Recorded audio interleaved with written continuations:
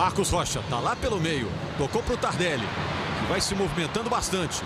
Ainda o Tardelli passa por um, por dois. Toca com o Neto Berola. O torcedor queria o Neto Berola correndo aqui pela direita. Ele ficou esperando o passe.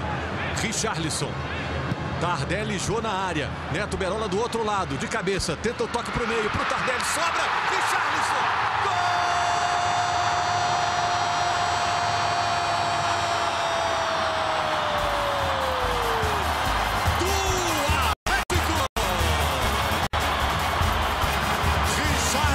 Corre para abraçar o Alexandre, irmão dele no banco.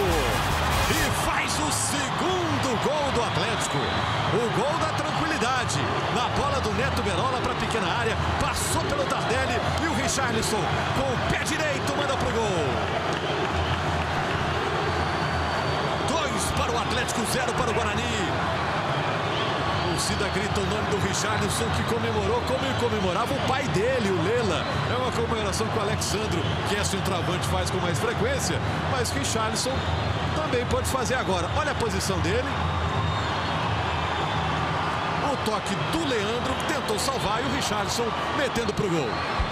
Não, porque ali é na hora que o o Berola cabeceou a bola. Tem que parar aqui antes um pouquinho só. Então não há impedimento. Ali já está quando a bola está chegando no Tardelli à frente. Não houve impedimento não, porque na hora que o Berola cabeceou aqui, o Tardelli está na mesma linha.